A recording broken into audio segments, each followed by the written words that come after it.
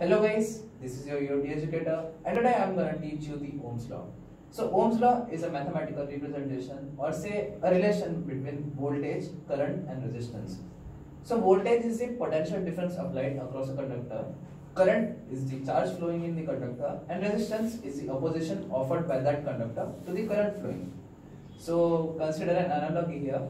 So this boy, this cute little boy who is trying to push this another boy which doesn't seem to be happy. So this boy is the voltage or better say the potential difference between the conductor. This particular green colored piece is a conduct is a piece of conductor which can conduct current. So this boy is the voltage or say the potential difference which we apply across the conductor. So this green boy which doesn't seem to be happy is the current flowing through this conductor and this boy he is trying to oppose he is trying to oppose this boy and he's not allowing him to go forward. So this boy is resistance. So I think it's a bit clear now. So what does Ohm's law states? Ohm's law states that the current current flowing through the conductor is directly proportional to the potential difference applied across the conductor. As we have seen that voltage is denoted by V, current by I, resistance by R. So this current is proportional to voltage that is applied potential difference.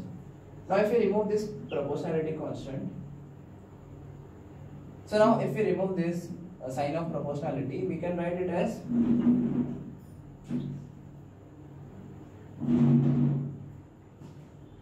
so this I equals to 1 by R into V or say V equals to IR.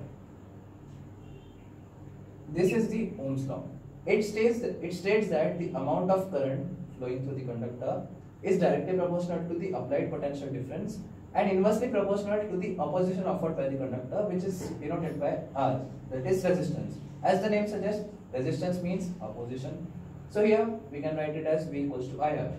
Please note that Ohm's law can never be stated like, stated like potential difference across a conductor is equals to current multiplied by resistance. It is not like that. It is like the current flowing through the conductor is proportional to the voltage applied across the conductor and not the voltage is proportional to current. Okay.